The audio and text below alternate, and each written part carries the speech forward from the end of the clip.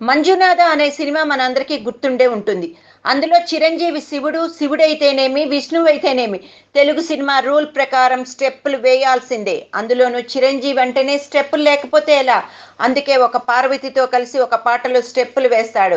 అంజీలో ఓ గిరిజన పాత్ర అయినా సరే మృగరాజులో అలాంటి పాత్ర అయినా సరే అమ్మో నీ అమ్మో గొప్పదే అంటూ స్టెప్పులు బంగారు కోడి పెట్ట స్టైల్లో అమ్మడు లెస్ డూ కుమ్మడు అంటూ గంతులేస్తున్న సీన్లు చూస్తున్నాం కదా. అరే అన్నమయ్య సినిమా అయినా సరే నాగార్జున స్టెప్పులు పాటలు ఉంటాయి. దిక్కుమాలిన మోహన్ బాబు వెగటు కామెడీ ఉంటుంది. రోజాతో కలిసి జబర్దస్త్ తరహాలో ఒక మంచి మసాలా పాట కూడా ఉంటుంది. తెలుగు సినిమాలంటేనే అంత ఉదాత్తమైన పాత్ర అయినా సరే అవే పిచ్చి ఫైట్లు స్టెప్పులు హీరో ఇమేజ్ దృష్టిలో పెట్టుకుని తలతిక్క స్క్రీన్ ప్లే తప్పకుండా చోటు చేసుకుంటుంది అని ఇండస్ట్రీ టాక్.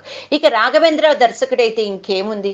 పరువాల హోయలు పరువాళ్ళు తొక్కాల్సిందే. ఎంతటి దేవతనైనా దేవుడినైనా భక్తురాలినైనా తీసుకొచ్చి పూలు పళ్ళు అంగాంగ ప్రదర్శన చేయించి తీరుతాడు.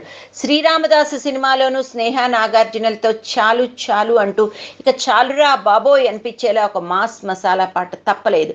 భక్తులైతేనే దేవుళ్ళైతేనే శృంగారానికి అతీతులా అని అధవలాజిక్ వద్దు కానీ ఆ పిచ్చి స్టెప్పులు ఫ్లైట్లు పంచులు లేకుండా తెలుగు సినిమా చేయలేరా అని ఇండస్ట్రీ వర్గాలు ప్రశ్నిస్తున్నాయి. స్టార్ హీరోల ప్రేమ తమ ఇమేజ్ మాయ. ఆ ఫార్ములా నుంచి ఆ పిచ్చి ఇమేజ్ చట్టం నుంచి బయటపడలేని దుస్థితులు ఇవన్నీ ఉంటున్నాయన్నమాట అని సినీ పండితులు వాచ. ఓం నమో వెంకటేశాయ సినిమా ట్రైలర్ చూస్తే రాఘవేందర్ రావు ప్లస్ నాగార్జున పైత్యం ఏదో కొత్తగా ఉండబోతుంది అని సందేహం వస్తోందని ఇండస్ట్రీ వర్గాలు భావిస్తున్నాయి. No doubt Keeravani the great ట్యూన్లు పాటల విషయంలో తిరుగులేని చేయి.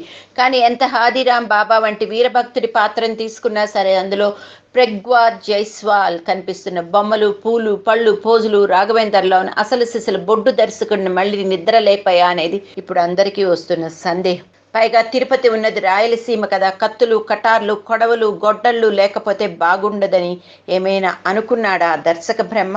హాదీరాం బాబాతోనూ ఏదో పిచ్చి ఫైటింగ్ పెట్టేసినట్టే కనిపిస్తున్నది. అప్పట్లో సుమోలు లేవు కాబట్టి ఎడ్ల బండ్లు గట్రా పెడా పెడా కూలిపోతూ గాలిలోకి లేచిపోతూ కదా అని యూనిట్ వర్గాలు అనుకుంటున్నాయి. అసలే రాఘవేంద్రరావు అందులోనూ మాస్ డైరెక్టర్. ఈ మాత్రం మాస్ మసాలా లేకపోతే ప్రేక్షకుడిని రంజింపచేయడం ఎలా అనుకుంటున్నాడో ఏమో. ఓరి దేవుడో ఈ సినిమాని ఏం తీశాడో ఏం పాడో అని కొత్తగా సందేహం వచ్చేస్తోంది అని ఒక వార్త ఇండస్ట్రీలో హల్చల్ చేస్తుంది.